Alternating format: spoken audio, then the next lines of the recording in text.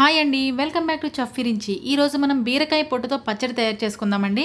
ఇదైతే రైస్లోకి చాలా చాలా బాగుంటుందండి. ముందుగా వీటికి కావాల్సిన ఇంగ్రీడియంట్స్ బీరకాయ పైన పొట్టు ఉంటుంది కదండి అది బీరకాయ తొక్కలు అవి దీనికోసం కొంచెం లేతగా ఉండే బీరకాయలు తీసుకోవాలి.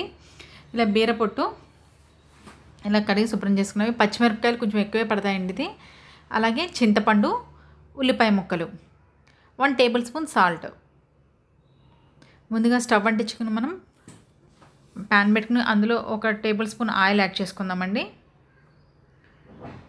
దీంట్లో పచ్చిమిరపకాయలు వే- వేసుకుని కొంచెం పచ్చిమిరపకాయలు వేగిన తర్వాత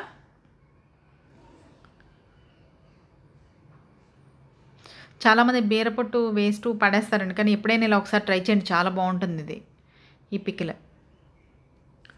అలాగే ఇప్పుడు ఇందులో బీరపొట్టు కూడా వేసుకుని మనం ఒకసారి మిక్స్ చేసుకుందాం. ఉప్పు చింతపండు కూడా యాడ్ చేసుకుని మనం. ఒకసారి మొత్తం ఈ బీరపొట్టు కొంచెం మగ్గాలండి. ఇది ఇది ఇది మగ్గడానికి మనకి టూ టు త్రీ మినిట్స్ పడుతుంది అంతే ఇది. ఇది వేగుతుంటే చాలా మంచి స్మెల్ వస్తుందండి. మీరు కూడా ఒకసారి బీరపొట్టుతోటి ఈ విధంగా పచ్చడి తయారు చేయండి. చాలా బాగుంటుంది.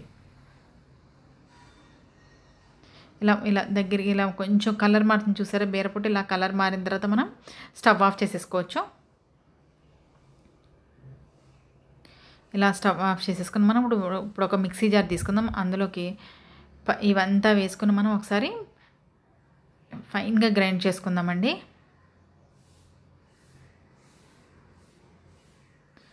ఇలా ఒక్కసారి మిక్స్ చేసుకున్న తర్వాత చూసారా మనకి ఇది కొంచెం మెత్తగా అయింది కదా. కావాలంటే కొంచెం వాటర్ పోసుకుని కూడా మనం ఒక వన్ టేబుల్ స్పూన్ యాడ్ చేశాను నేను అంతే వాటర్ అండి. ఒకసారి మళ్ళీ గ్రైండ్ చేద్దాం. చూసారు ఇప్పుడు ఇది చాలా మెత్తగా అయిపోయింది. ఇప్పుడు ఇందులో మనం ఉల్లిపాయ ముక్కలు యాడ్ చేసుకుని ఒకే ఒకసారి జస్ట్ మిక్సీ అలా తిప్పుదాం అంతేనండి ఇది. Just two seconds two to three seconds అయితే సరిపోతుంది అంతే మిక్సీ తిప్పడానికి. అంతే ఈ విధంగా మిక్స్ అయిపోయిన తర్వాత మనం ఇప్పుడు దీన్ని ఒక బౌల్లోకి తీసేసుకుందాం. ఇది వేడివేడి అన్నంలోకి చాలా టేస్టీగా ఉంటుందండి నెయ్యి వేసుకుని తింటే. దీని ఒక బౌల్లోకి తీసేసుకున్నప్పుడు ఈ పికిల్ని పోపు వేసుకుందామండి ఇది